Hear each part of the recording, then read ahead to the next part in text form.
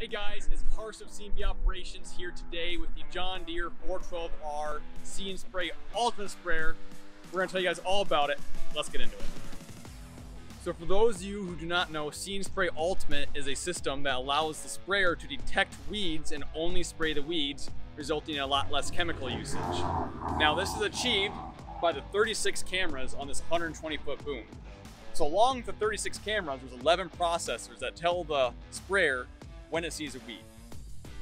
So at the current moment, this sprayer can detect weeds in soybeans, corn, and cotton in 30 inch row configurations. What's also new with the See and Spray Ultimate system is the boom. So this is a 120 foot carbon fiber truss style boom. It is a completely redesigned boom, not the same boom that you guys had on the 4000 R series sprayers. And what's also new about this boom is the way that it attaches to the center frame of the sprayer. So the 30 series sprayers had a pivot system, so when one side of the boom went up, the other side went down and wasn't all that stable.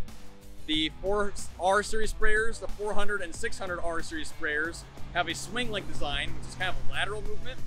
The See and Spray Ultimate sprayer has a pendulum design with airbag dampeners to really keep that boom nice and steady.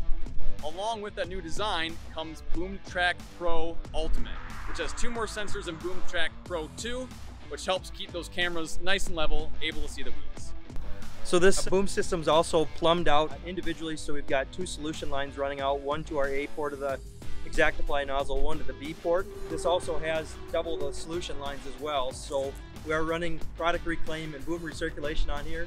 And you would think that that's going to add a lot of weight to the boom and cause issues there with being back heavy on the sprayer. But with this carbon fiber boom, we're actually about the same weight as what a 120 foot steel boom would be with ExactApply and product reclaim and boom recirculation.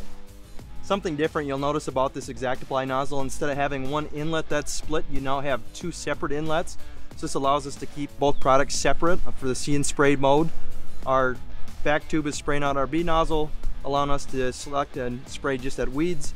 Front nozzles doing our broadcast and coming out the A ports, so keeps them separate that way. The other thing this allows us to do is still run both systems and spray in a broadcast mode and a higher rate than a high flow system would be capable of. Other than the fact that the inlet port is different on this nozzle body, it is the exact same nozzle body as an ExactApply sprayer. So that means that when you're broadcasting with the A port, you can use any nozzle that is ExactApply compatible. However, the and Spray nozzles need to be an ultra low drift, a low drift max, or a 3D nozzle, and needs to be pointed backwards at 40 degrees so that way it can maintain a good pattern at 12 miles per hour. The See and Spray Ultimate system utilizes a split solution tank. So as you can see here, uh, 1200 gallon tank, we're split 450 gallons in the front tank for the See and Spray portion, and then 750 for our broadcast operation. It'd be 350 and 650 on a 1000 gallon tank, and basically can run separate, but we can also run them combined too. So if we just want to go do a pre-emerge application with a broadcast application, we can combine tanks and utilize one solution tank essentially to get that product on. The way this system's configured today is we're basically running two standard flow pumps. If we want to, we can run them in conjunction, which would allow us to get up to 220 gallon per minute flow through the system. Otherwise, we'll run them separately, basically running our A nozzle as our broadcast nozzle and our B nozzle as our seed spray nozzle. So as you can see, looking at our solution command display panel setup here, is we've got a similar system what we would have had on our 4 series sprayers and our 400, 600 series sprayers, uh, but we've now added a second set of additional buttons, so one for product one, one for product two. So as far as loading this system, we're equipped with two eductors on here to keep our products separate. So if we are running different chemicals, we don't cross-contaminate. We've also got a couple options for filling here. So utilizing the side fill option on this, we can push product onto both tanks through this three inch fill line. It uses an electronic valve up top to divert which tank it's putting product to.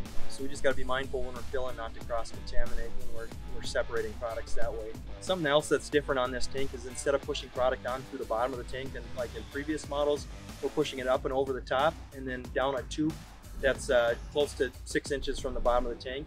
So we just ran out of real estate for the plumbing side on it. So pushing it through the top and then closer to the bottom of the tank is going to still allow us to, to fill that tank without foaming or causing issues that way. Another option we have for filling is to utilize the front fill. It's equipped with a 3 inch line that goes to tank 2 and then an independent 2 inch line that goes to tank 1. This allows us to fill up without worrying about cross contamination between products. Thanks for taking the time to watch our video about See and Spray Ultimate. We look forward to showing you more about what this machine is capable of in the future. This is Justin Myrie with C&B Operations, committed to being your dealer of choice.